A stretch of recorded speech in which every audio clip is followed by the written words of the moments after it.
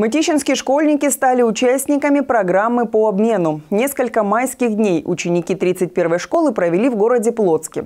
Он является партнером Мытищ с 2006 года. Плотск – бывшая столица Польши, поэтому наших школьников ожидало увлекательное путешествие по интересным историческим местам.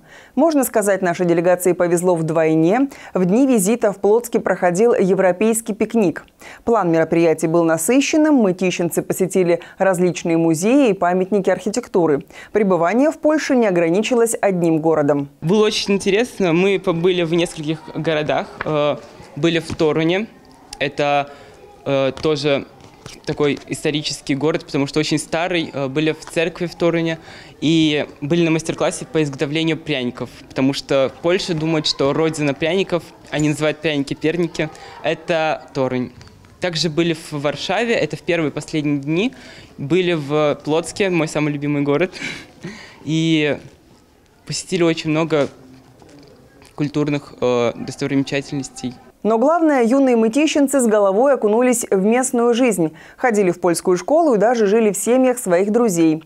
Да, ребята уже были знакомы, общение проходило в интернете. После виртуальных встреч реальная прошла особенно волнительно. Когда все вместе увиделись, это было очень круто видеть человека, когда ты с ним общался за много километров, и потом после этого прощание, потому что ты когда прощаешься и понимаешь, что ты его, возможно, больше не увидишь. Да, я жила в семье, в доме, у девочки у нее была мама, папа и две собаки. А девочку зовут э, Зузанна, я ее назвала Жужа.